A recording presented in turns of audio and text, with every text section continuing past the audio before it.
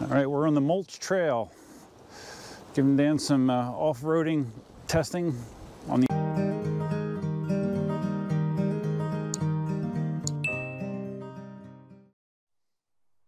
How you doing, Duf here? I'm at the Naples Greenway and I'm here with someone else. That is not Cindy and it is not Deb. It is Dan. Dan is from Massachusetts. Say hi, Dan. Hey, everybody. Hey.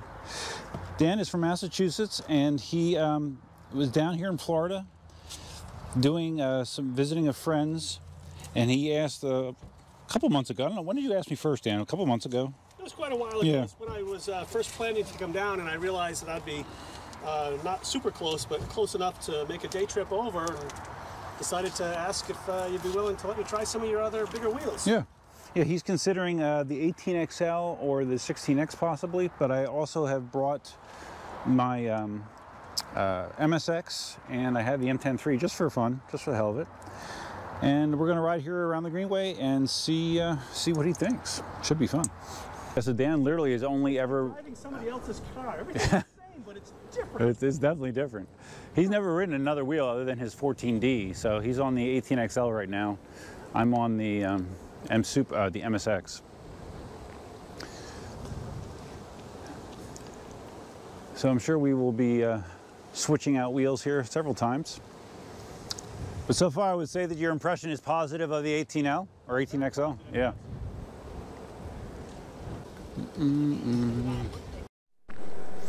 But powerful. I mean, if you're an aggressive rider, it'll it'll it'll take off. I'm, I'm gonna dump my trash here. I don't think I'm going to. Uh, I think I'm going to be more like you and Marty, where the top speed I'm ever really going to be doing is probably 25. Yeah. Probably mostly 20, because I just don't have the. I don't have the area like you got here, where you can really just gun it and go. Yeah. Um, and I like the extra margin of safety of having a wheel that can do 30, Right.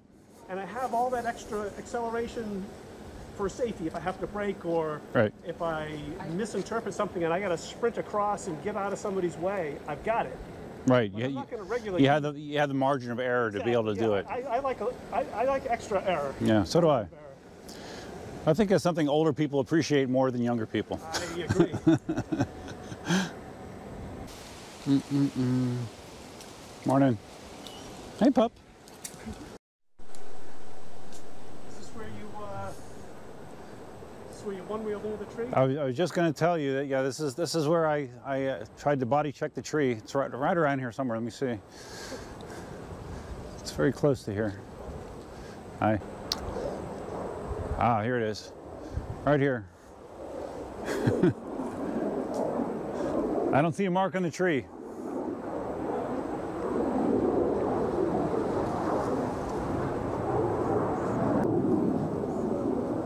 On your left.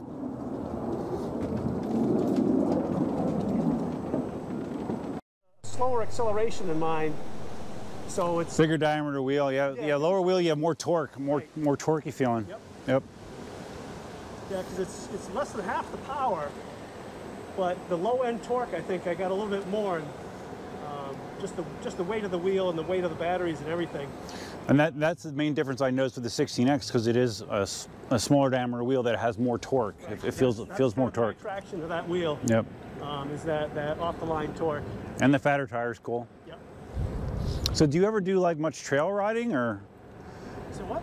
much trail riding? Are, are you off road at all? Or? There's one trail where I where I take my car to be serviced, and I can go through the woods, and there's loose rocks and stuff. So Oh, okay. um, I have to I have to get off and walk a little bit. Well, my feet need a break anyway. Yeah, okay. Um, but there is some uh, some areas um, that are more narrow footpath trails. They're not really um, not really very wide. See, unless I turn my head, I can't hear. I can't hear shit. Yeah. Put, put, put your finger. Oh, take a finger and put it up next to your strap. Point, point your finger to the sky. Yeah. Yeah, I guess that's all it really takes, right? Yeah. So did you hear about um, about Boosted basically going out of business? No. You didn't hear that? Boosted boards? Yeah. Can they go on a business? They laid off like almost all their employees. no shit. Yeah, well, I guess they were funded primarily by venture capital, and it sound it sounds like they really extended themselves when they came out with that scooter. I didn't know about the scooter. Yeah, well, they, they had a boosted scooter that they, that they announced last year. Because all I've seen is the videos that uh, Casey Neistat. Yeah, well, he's the one that made him so so popular. yeah. But, I mean, um, that kind of support, they'd be doing great. Yeah, they're, they're basically out of business. Wow. Yep. I did not expect that. They, they were like the gold standard as far as e-skateboards go, you know? Yeah, because I know they weren't the fastest or the longest range, but they were a good, solid, commercially. Well, they're expensive. That, that was a problem. And I guess that they said that they really struggled with the tariffs. I guess they said the tariffs were really hurting their business too. So you have to look it up. They're, they're, I think it was uh, Thursday or Wednesday or Thursday they announced that. wow. Yep. I would never have guessed. All right, so I have Dan on the MSX now, 100 volt. He immediately notices the, the difference in the pedal angle compared to the 18XL and the uh, thickness of the body of the shell. Yeah, I noticed the uh, the pads, the top of the pads could use a little rounding over. Yeah, yeah, they're a little uncomfortable. But I, I usually ride with my legs off the off the case mostly, so You got this uh, bow-legged stand. yeah. But you can feel the power if you lean into it on that thing. You can definitely feel the power. You say this has more acceleration than the 18XL? Hmm. Uh, acceleration, it's probably similar. It's just it's just that this keeps going and going and going. Right, right. And I did almost 34 on it in the first day. I haven't ridden the 18XL in a little bit. I'm just still amazed at how quiet it is. Just crazy. All I hear is just the rubber, Yeah. the rubber hitting the road. That's it. That, that, is the, that is the strangest thing is that you can have a device that's got, you know, over two horsepower, can shove a guy through the air, over Yeah. hills and everything, Yep. at, you know, car speeds. And the thing is, all, all you hear is, is the sound of rubber. Yeah, it's amazing.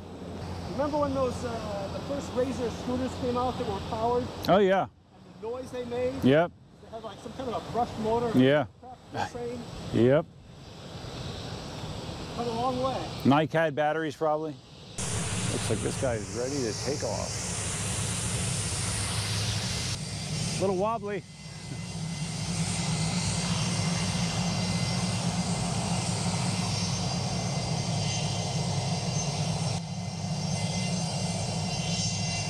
Ay, ay, ay. I don't know if you can see it on camera.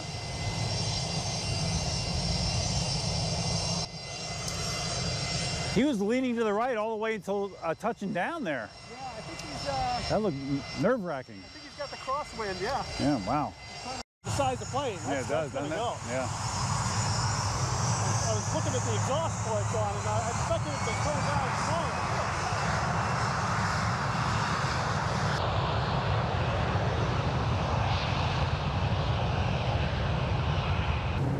All right, so we are heading back to the truck and we're gonna switch out vehicles. He wants to try out the 16X. He also brought his, his wheel is a uh, Kingsong 14D, which I've never ridden a Kingsong 14 series, so I'm gonna try to ride that at some point. And we also have the Mten3 for fun, so good riding so far. Day's getting nicer. This way. All right, we're on the Mulch Trail. Giving Dan some uh, off-roading testing on the MSX. I am still on the 18L slash XL. This is actually nice and packed right now. Sometimes it's a lot muddier. Yeah, I can, see it. Looks like it's muddy, but it's actually not Yeah, bad. yeah, no, it's not bad at all actually. Oh. Hi, hi, buddy. This thing is pretty damn awesome. It's fun. Took a while to learn, but it's fun once you do. Thanks. Yeah, there you go. I was wondering if I was going to get that wrong. Well, yeah, if you wore my helmet especially. yeah. On your left.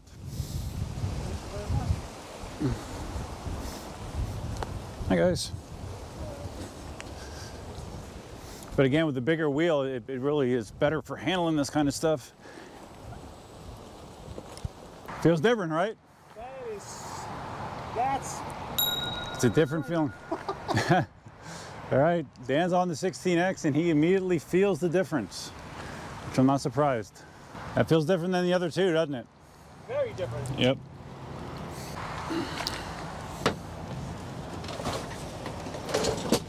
Think I'm actually gonna pull out the Mten3. Why not? Got to use more body to turn it. And good- it- It's funny because I, I'm, I'm not allowing enough and I, I can't quite make the turn that I want to make. And I run out of, run out of road. All right. Yeah, it's gonna take me a minute to figure this out. Oh yeah. No, it's fine. Oh, no, that's good.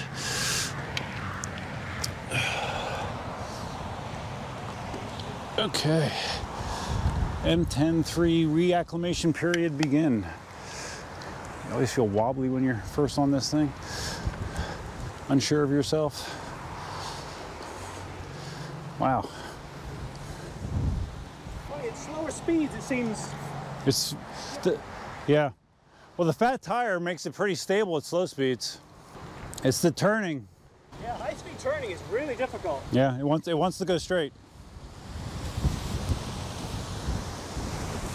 He's experiencing the tracking characteristic of the uh, 16X. Can still ride it backwards. Still feel a little shaky on it though, to be honest with you. Just don't get to ride it enough. All right, I reconsidered taking the. What's that? Yeah. There's not there's nothing real sharp you got to deal with, but as you can see, turn, no problem, but at the higher speeds, yep. it's weird. Because usually my stance is completely straight up and down and me and the wheel completely lean. But here, you just balance it off. Well, I've noticed with the smaller wheels, like you know, I can do most of my leading just by my feet. I, I can just use my feet to do it. But yeah, with with these, uh, you got to definitely use more body. We're over on the zoo side, just for a little bit, just to show them what the zoo looks like. We're going to go over the um, the main Greenway path into Baker Park next. I'm more used to it, Yeah. I think if I, uh, you know, I'd still be cautious. I wouldn't, I'm not completely confident. It would take a while of Yeah. slowly building up to faster turns and just getting my confidence up to see how much I have to pull on it. Yeah. It's funny because you know I just jumped, jumped over that curb, and it's the same jump that I'd go with something else, but there's no shock value. you know, it's like being hit with a, a regular hammer versus being hit with a rubber hammer. You're right. It really softens a little bit. Yeah, when you're when you're used to riding 14-inch wheels exclusively, I mean, it's, it's so different with the bigger wheels. That's this section, nice. Yeah, so that's Naples over there. What are those tanks on the right? Uh, water water holding tanks.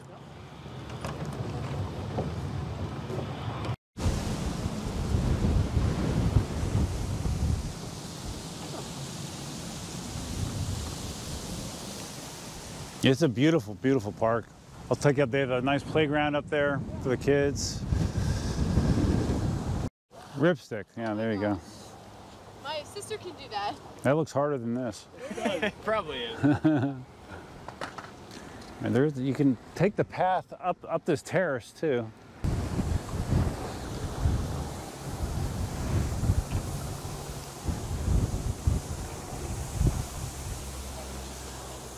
Ascending the terrace.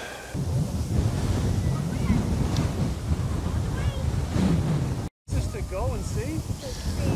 There's not a lot of high ground here, so you got a pretty good view of the surrounding area, except for the condos, of course. the high-res condos.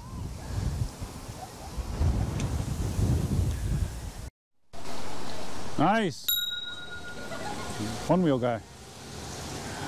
One wheel guy. We're heading to the beach. We're just gonna go to the beach and reverse, just to say we did. Okay, welcome to the beach. We're here.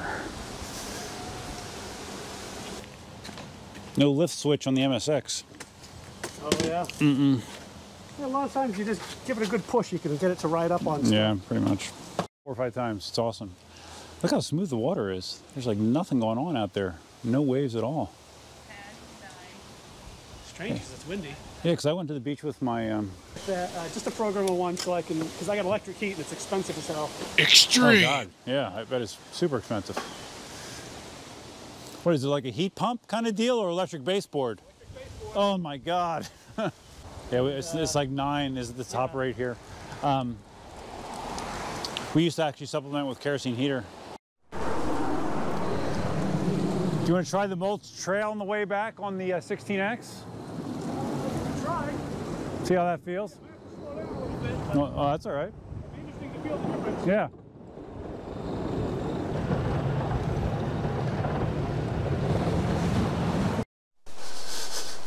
All right, we're back on the mulch trail. This time I'm doing it on the MSX and we're letting Dan try the uh, 16X back here. So how does that feel in comparison doing this? Bit better, not as much as uh, the difference between like what my wheel and the uh, and these two would do. Yeah, But definitely, uh, you can definitely tell there's a difference. You know, there's some bumps you can't even feel. right. You know, the smaller roots, and then the bigger ones. Uh, you know, the, the the bumpiness and the landing of it are so much different. And there's, you know, with the softer tire, there's not as much rebound either. Yeah. And at the slower speed, the maneuverability seems to improve, so I can, you know, slalom through them uh, and pick your line really easy. Yeah, this is the first time I've taken the MSX uh, off the road actually, so it feels good. Yeah, feels real good. I'm gonna try, people have been asking me to try to take this through the swamp, so I'm gonna probably do the swamp sometime with this. Yeah, that was a good ride. Oh my God. I really enjoyed that video. Beats the hell out of you though. It's- it's It would just- be nice if it was shorter. Yeah, it's so long. It's, uh, it's a little too much of a good thing. Yeah. Just a little high-speed MSXing. I almost have to, I can't even brace that on my leg at all, so I have to almost just hop on it.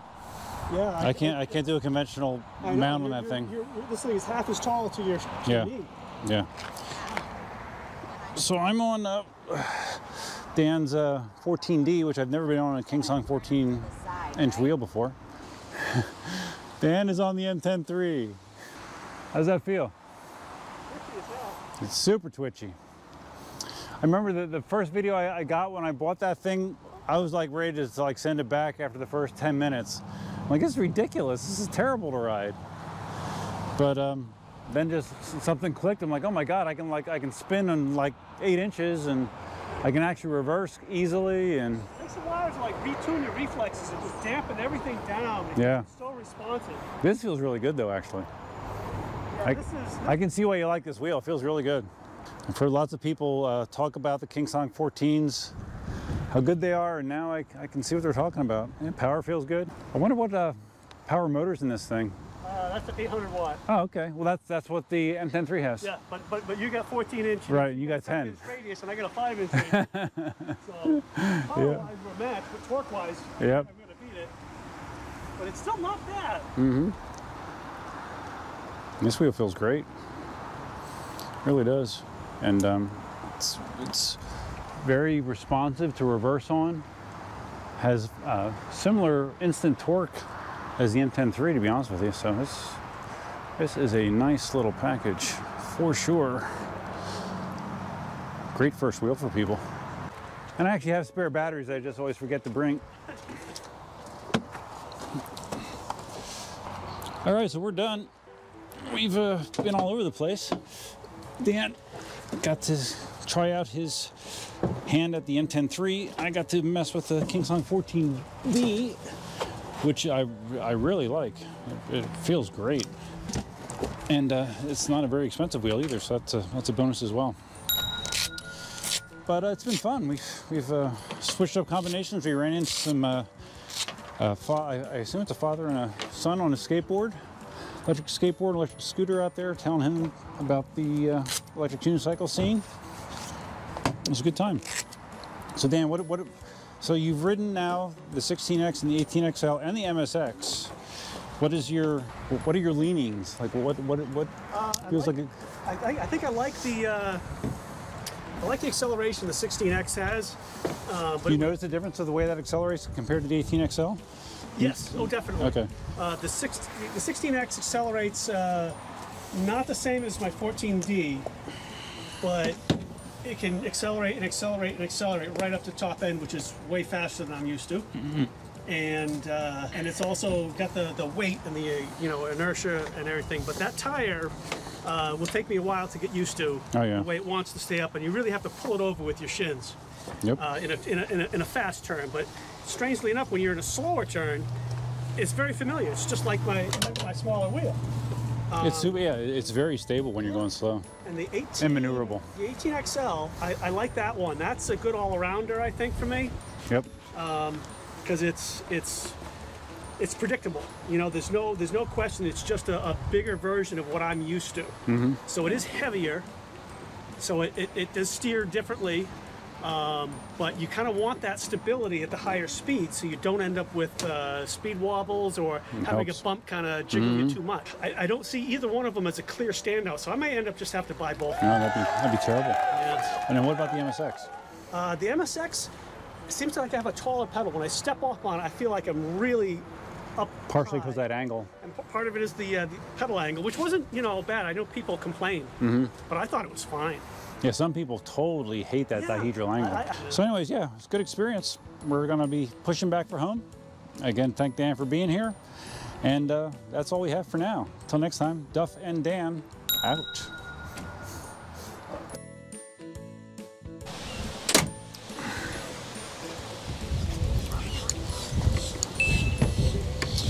It looks totally safe.